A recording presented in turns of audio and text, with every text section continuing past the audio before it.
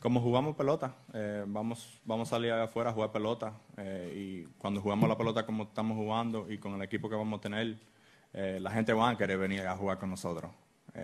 ¿sabes? Hosma ha ganado un campeonato, sabe ganar. So, ¿sabes? Tati es un, ¿sabes? Yo lo veo como yo era hace siete, seis, siete, ocho años atrás y ahora estar aquí al lado de él, tenerlo al lado mío para tratar de ayudarlo en todo lo posible que pregunta que tenga. Eh, son cosas que en la pelota es, mucho más que, que, que todo en la vida.